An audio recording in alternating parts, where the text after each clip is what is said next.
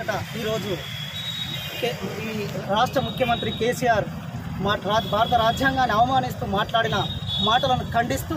ఈరోజు స్టా- రాష్ట్రమంతటా ముప్పై మూడు జిల్లాల్లో దిష్టిబొమ్మ దహన కార్యక్రమం జరుగుతుంది.